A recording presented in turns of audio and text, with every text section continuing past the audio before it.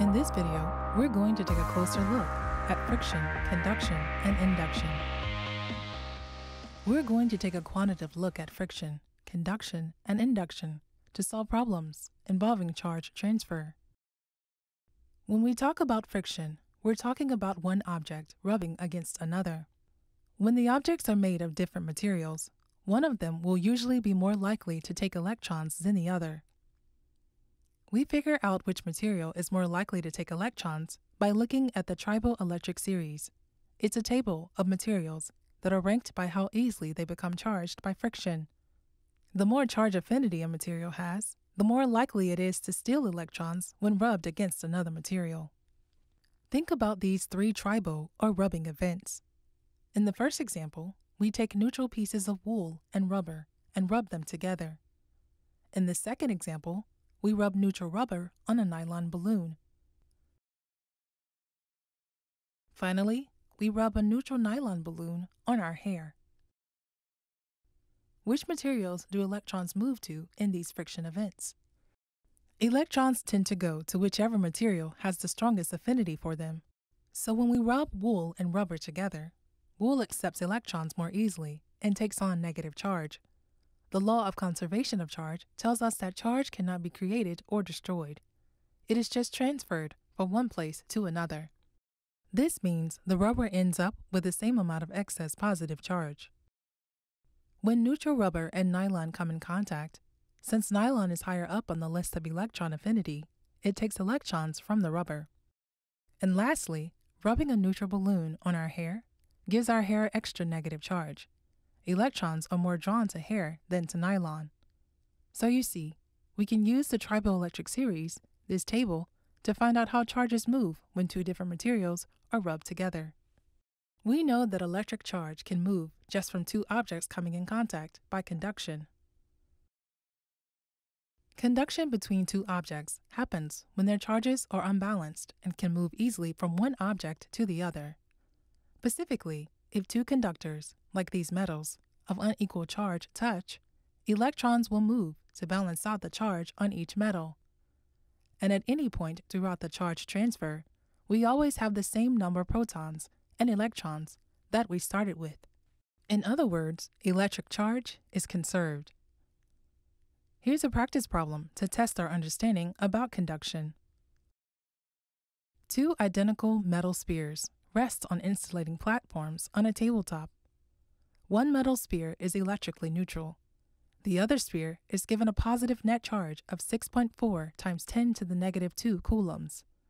The spheres are brought into contact with each other. As a result, the first metal sphere becomes charged positively. What is the charge on the sphere that started out neutral? And which of the following occurred during the process? Circle or write down all that apply. A. The metal sphere gains some protons. B. Electrons are transferred from the uncharged sphere to the charged sphere. C.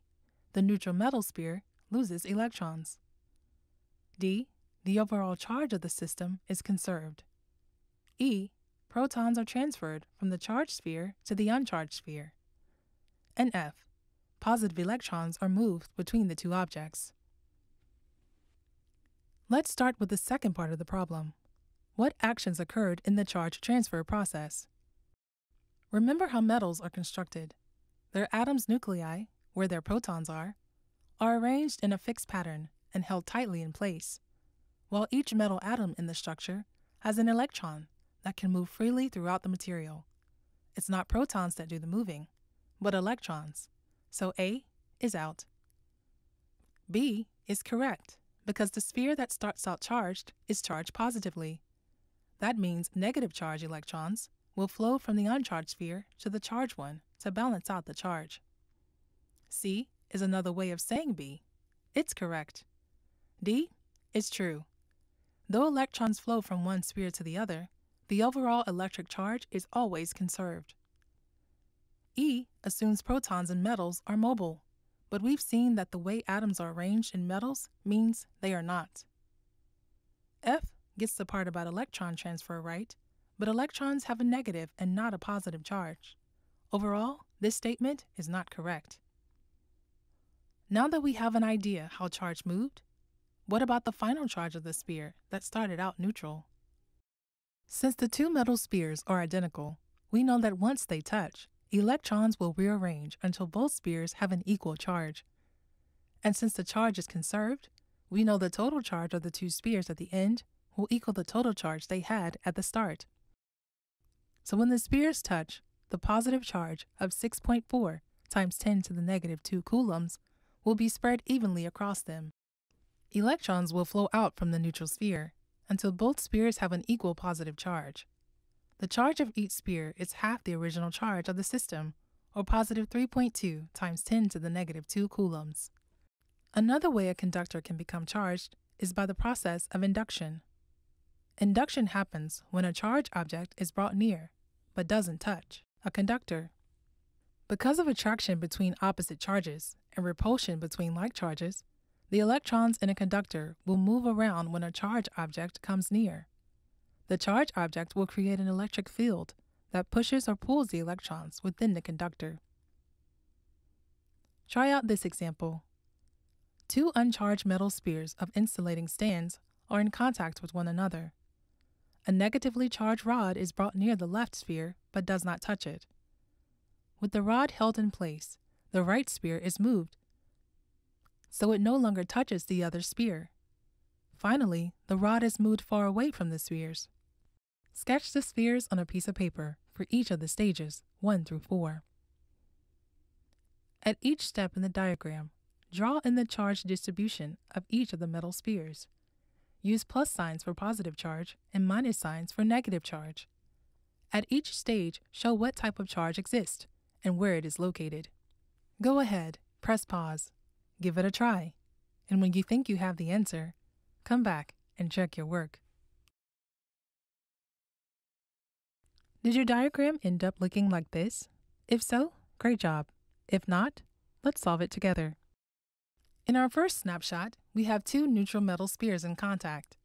Since neither has a charge imbalance, there's no net charge on either one. A net charge of zero means there's an equal number of protons and electrons on both spheres to draw in on the diagram. In the second scene, we've brought a negatively charged rod near the left sphere. Since the spheres are conductors, electrons can flow easily, and in response to the electric field the negatively charged rod makes, electrons flee as far away as they can because the spheres are in contact. That furthest distance is the right side of the right sphere, so the charge rod induces a charge imbalance. Electrons are pushed to the far right, leaving a net positive charge of the far left. That's what the plus and minus signs in the diagram mean. At step 3, the right sphere has been moved out of contact with the left sphere. We now have two disconnected systems instead of one connected one. And now that they are separated, the spheres have equal and opposite charges. If we add up their charges, we get zero, just like at the beginning when we started with zero net charge thus the law of conservation of charge in action. The rod continues to draw the positive charges on the left sphere. Those charges come as close as they can to the oppositely charged rod. The right sphere, which, like we said, now has an overall charge, wants to spread that charge over its entire surface. The electrons repel each other as far as they can, spreading out over the surface of the sphere. They are still affected by the field created by the rod, but their self repulsion is now a strong effect. Finally, in frame 4, we remove the charge rod from the picture. The left sphere has a positive net charge, and those charges repel each other and spread out over the sphere. The negative charges on the right sphere will be affected only slightly by the removal of the rod and the redistribution of positive charge on the left sphere. We started with two uncharged metal spheres, and induced an overall positive charge on one and a negative charge on the other without ever touching our charged object, the rod, to the spheres. That without ever touching our charge. That's a closer look at friction, conduction, and induction. For more physics in motion, go to our homepage where the entire series is available to you.